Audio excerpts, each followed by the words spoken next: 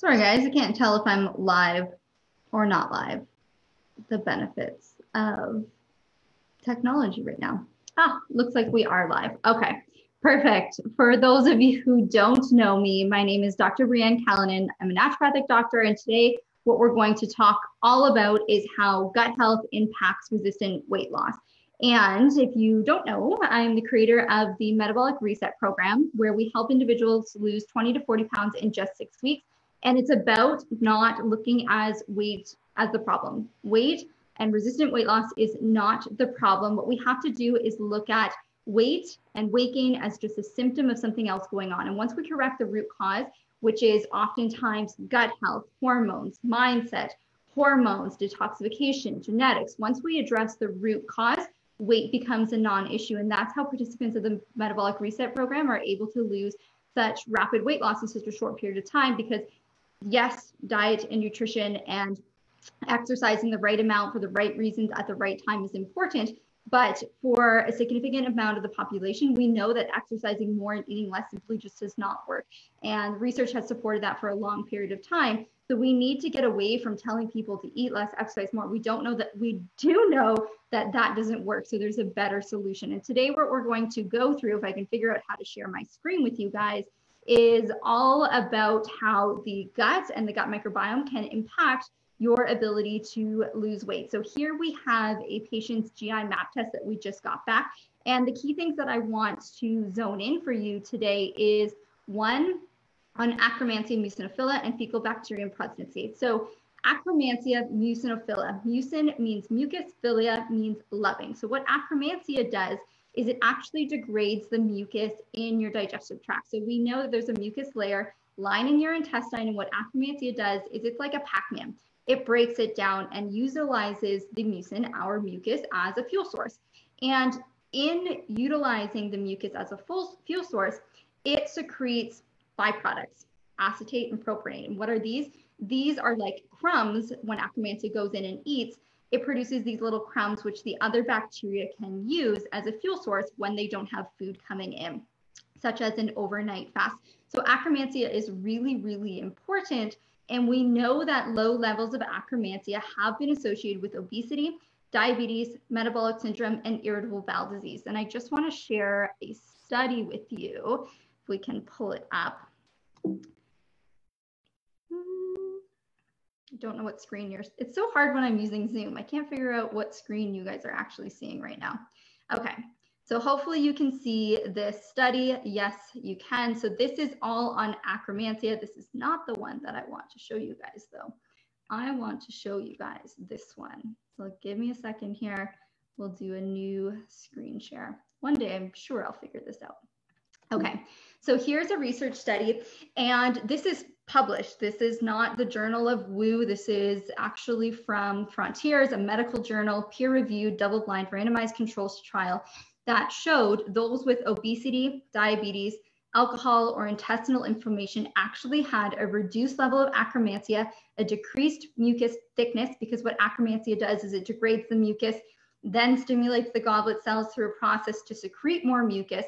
So in those with obesity, diabetes, alcoholic or too much alcohol, intestinal inflammation, we're seeing reduced mucus thickness, we're seeing less levels of akkermansia. And what does that lead to? Well, it leads to a process called metabolic endotoxemia. So we're seeing liver inflammation, fatty liver, insulin resistance. So this, um, many of my clients say they just look at carbohydrates and they gain weight. Insulin resistance is a primary cause for that. Inability to burn energy for fuel, simply consuming something and storing it, um, is often what we see in terms of insulin resistance. Inflammation, type 2 diabetes. And then on the other hand, when you have an abundance of akkermansia, you're seeing increased mucus thickness, less weight gain, less insulin resistance, less diabetes, better health overall. And if we switch to this study, it's showing that if we can elevate akkermansia, we can improve metabolic disorders associated with obesity, diabetes, liver disease, cardiometabolic disorders, etc. So what we really want to do is upregulate akkermansia. And how do we do that? Well, a diet rich in polyphenols, so fruits and vegetables, curcumin, green tea, as well as specific prebiotic fibers to help akkermansia grow, such as glucomannan. And that's why we're using the Fiberline product that I created with glucomannan in it because it's been shown to increase akkermansia. In addition, we want to use specific probiotics, specifically only bifidobacterium, to raise that up. Now, the other one that we saw low on this patient's GI map was Faecalibacterium prausnitzii. When you have lower levels of akkermansia, you don't have as much crumbs lying around, then you don't have as much of the fuel source for Faecalibacterium prausnitzii. And this one's really, really important because it produces butyrate, a short chain fatty acid that's really important for the intestinal health cells.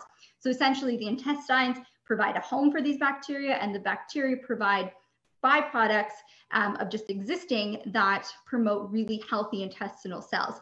Low levels of this type of bacteria have been associated with inflammatory bowel disease, so irritable bowel disease, Crohn's, as well as autoimmune conditions. So this is something that we really want to boost up as well. Now, the only way to boost up Faecalibacterium prausnitzii is to first boost up the akkermansia. So the akkermansia is a good level to feed this guy so that it can produce the short chain fatty acid. So this is why it's really important to look at the gut microbiome and how we can optimize that because there's tons of studies out there that show changes to the gut microbiome in an unfavorable way promote not only gut associated conditions, whether it's irritable bowel disease, Crohn's and colitis, irritable bowel syndrome, but also metabolic disorders such as obesity and diabetes. And a lot of individuals struggle for a very long time. They're exercising, they're eating less, they're following all the right things, they're sleeping, they're eating whole foods, but they can't seem to lose weight. And it all comes down to we really have to optimize the gut. And there's some really cool rat studies where they're looking at the feces of an obese rat, transferring those feces into the lean rat. And regardless of the diet or exercise, it did not change for the lean mouse that lean mouse again became obese. And that's why they're studying the impacts of the gut microbiome to try to find changes, metabolic changes that are happening in those who are a lean body composition versus an obese body composition. We do see that there's pretty dramatic changes. So the last one that I want to share with you is a research study specifically on ways to boost akkermansia. And here, what it's showing is that you can supplement with bifidobacterium. So that's why we're very cautious about the type of probiotic that we're using in the metabolic reset. We want a probiotic that's going to support these types of bacteria. So again, you can absorb less calories from the foods you eat, less insulin resistance, less inflammation. That is really, really important. So you can get away with eating more. I'm always about minimal effort for maximal results. And that's why we're manipulating the gut microbiome to produce these dramatic weight loss changes. It's really nothing special in terms of the diet. And we actually completely eliminate exercise because over exercising raises cortisol, raises inflammation. It's going to be harder to have that optimal gut microbiome in that case. So we reduce exercise to zero, except for walking and yoga um, or light resistance training if you have to. Then we get your hormones and gut in check. Then we put the exercise back on if you like it. But again, supplementing with bifidobacterium has been shown to raise akkermansia in addition, things like metformin, a pharmaceutical drug, um, as well as antibiotics have actually been shown to manipulate the gut microbiome. And this is why metformin not only works at reducing blood sugar and elevated levels of insulin, but it may actually have a positive impact in terms of weight loss because of its effect on the gut microbiome, which is interesting. Rhubarb, as well as dietary polyphenols. So in the metabolic reset, I'm big on consuming mandatory vegetables as well as mandatory fruit at every single meal to have those polyphenols. Green tea is great. Um, this research review study here that showed that green tea and whole grape showed no effect, but I have seen other research articles that showed the benefit of green tea. 10 cups a day was a really high amount. So if you can't get that, you can consider supplementing curcumin, quercetin, resveratrol, those have all shown positive benefits in other research studies, um, as well as, of course, quercetin and resveratrol have been shown to um, support a healthy immune response in terms of allergies and other immune responses in terms of illness, which is really great, as well as um, bifidobacterium, which we talked about. Again, here it's emphasizing how important diet is too. So avoid a high fat diet high fat diet in combination with the FTO gene, especially a high fat diet rich in saturated fats and low in protein, is going to promote promote obesity in those with the FTO gene, and 42% of um, Caucasians have actually been shown to have that variant. So you want to watch with that. That could be why um, the coconut oil, in terms of saturated fats, got such the bad rap. It's not bad for everybody, but if you do have that genetic variant, it might not be the best for you. And then again, we want to watch with alcohol consumption. So that's the overview in terms of how gut health impacts weight. It comes down to Akkermansia, fecal prausnitzii. Um, there also is research, of course, on the FB ratio, which we can do another whole whole talk on if your Firmicutes bacteroides ratio in your gut, which is just a category that all the bacteria fall into, if that is raised, increased caloric extraction from food, insulin resistance, prediabetes, all associated with that. And if you were to put on a probiotic that you might find at the, you know, the health food store that contains lactobacillus and bacillus base, those ones fall into the Firmicutes. So if you add on that probiotic and you already have a high FB ratio, you're just going to make it worse. Um, so you really want to be cautious about choosing the right probiotic that's meant for you to produce the results that you specifically want. So really, really important there. You can always run a GI map on yourself. I do it every single year. It's really easy. Just poop, grab a little bit of stool, put it in the container, ship it back. You have your results in five to seven days. Um, and it really gives us a really big insight in terms of your overall health to look at what your gut microbiome is like. Um, but again, if you can't do the testing, you can always work with a practitioner to figure out what's going to work right for you. And in terms of the metabolic reset, we optimize the gut, we optimize your hormones, we optimize your mindset.